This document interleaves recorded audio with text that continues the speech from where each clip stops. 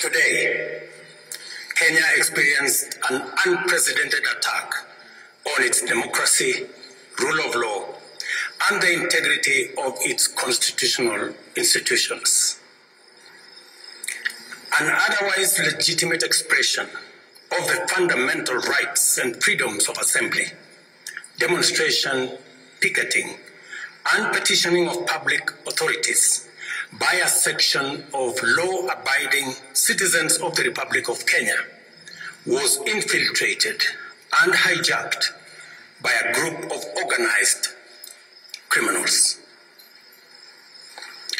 Most regrettably, today's attack on Kenya's constitutional order has resulted in the loss of lives also destruction of property and desecration of institutions and emblems of our sovereignty. Today's events mark a critical turning point on how we respond to grave threats to our national security. I assure the nation that the government has mobilized all resources at the nation's disposal to ensure that a situation of this nature will not recur again at whatever cost.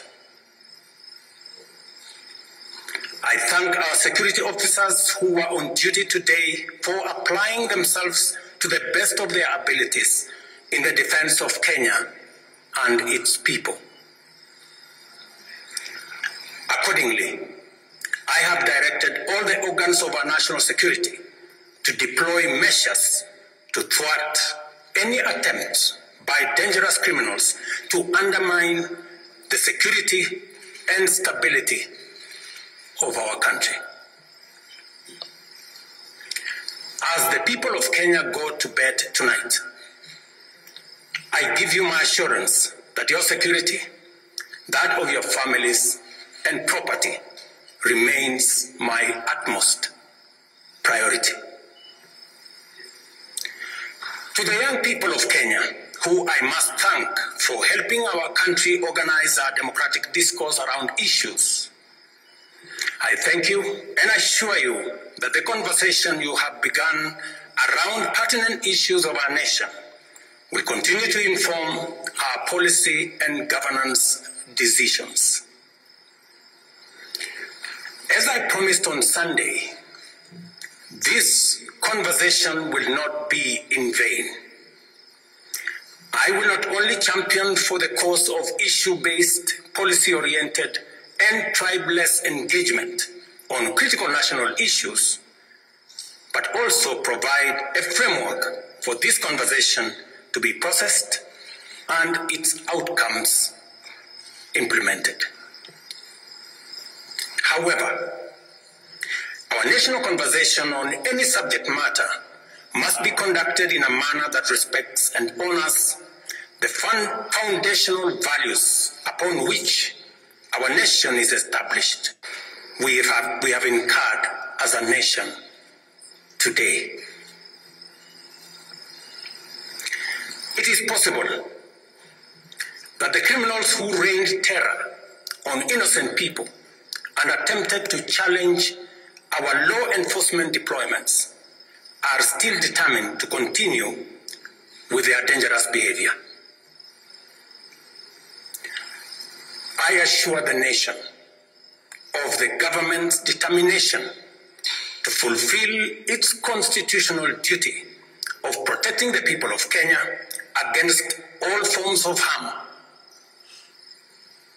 I hereby put on notice the planners, financiers, orchestrators, and abettors of violence and anarchy that the security infrastructure established to protect our republic and its sovereignty will be deployed to secure the country and restore normalcy.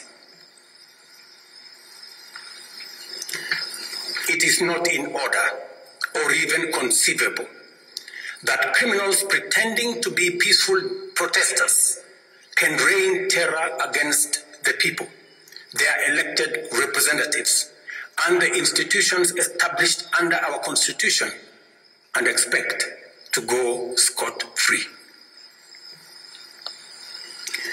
We must isolate crime from democratic expression and separate criminals from people exercising the freedom of expression and divergent opinion. I shall continue to lead a government that is fully committed to maintaining the integrity of our state, promoting the unity of our nation, and enhancing the peace and security of all citizens and their livelihoods. I am bound under sacred constitutional mandate to respect, uphold, and defend the Constitution of Kenya, which declares that all sovereign power belongs to the people, and that this power shall be exercised only in accordance with the Constitution. The government will therefore uphold its constitutional mandate to secure our nation and its development and shall treat every threat to national security and the integrity of our state as an existential danger to our republic. Accordingly, I assure Kenyans that we shall provide a full, effective, and expeditious response to today's treasonous events. Thank you.